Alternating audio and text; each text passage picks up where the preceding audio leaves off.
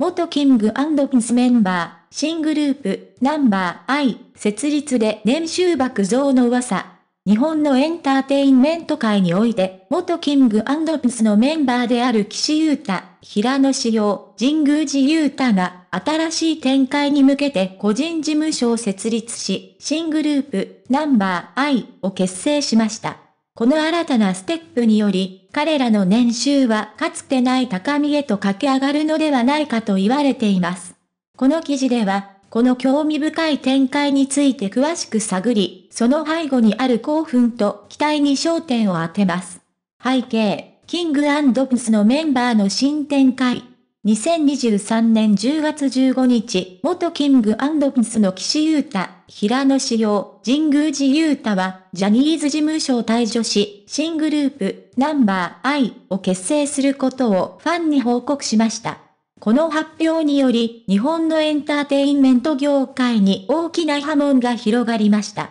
これらの才能あふれる3人は、今後、どのような活動を展開するのでしょうか？ナンバー I の期待と活動展望。ナンバー I の活動展望は非常に興味深いものです。これまで、平野と神宮寺は戸辺に所属していましたが、活動は主に SNS で写真を配信する程度でした。しかし、岸優太の合流により、新たな可能性が広がります。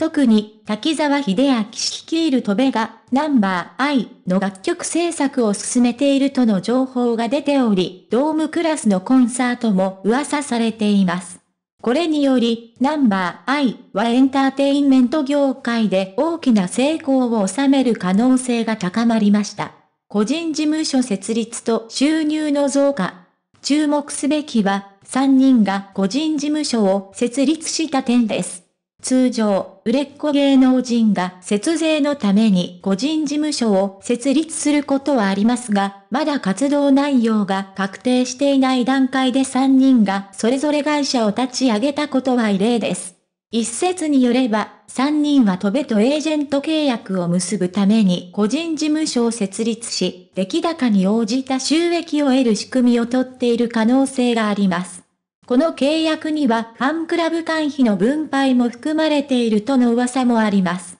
ファンクラブ会費の分配。ジャニーズ事務所は長らくファンクラブを設置し、多くのファンが参加しています。一方、戸部も、ナンバー I を含む各タレントがファンクラブを開設しており、ファンクラブ会費については滝沢秀明氏がタレントに相当程度分配するという話も聞かれます。これにより、ファンは自分たちの会費がタレントに還元されることを期待でき、滝沢氏はファンクラブビジネスを最大限に活用し、タレントにとっても働きやすい事務所を提供しようとしていると言われています。広告と番組出演料のタレント支給。興味深いのは、スマイルアップがタレントに対して広告や番組出演料を全額支給すると発表したことです。この決定により、タレントは収入をより確実に増やすことができます。しかし、まだファンクラブに関しては触れられていません。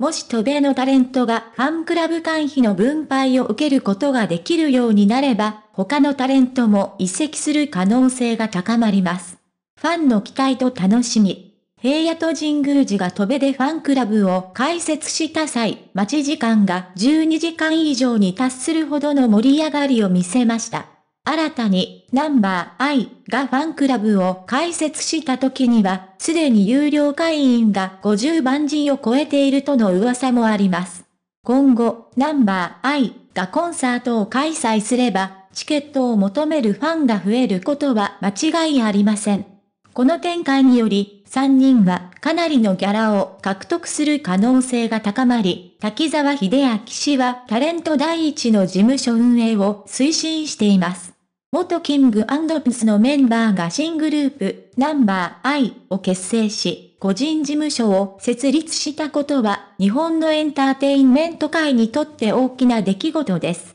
彼らの新たなステップにより、年収が急増する可能性が高まり、ファンもその成長を見守ることになります。滝沢秀明氏の取り組みにより、戸部が新たなビジネスモデルを確立し、他のタレントにも影響を与えることが期待されます。今後のナンバー I の活動に注目が集まります。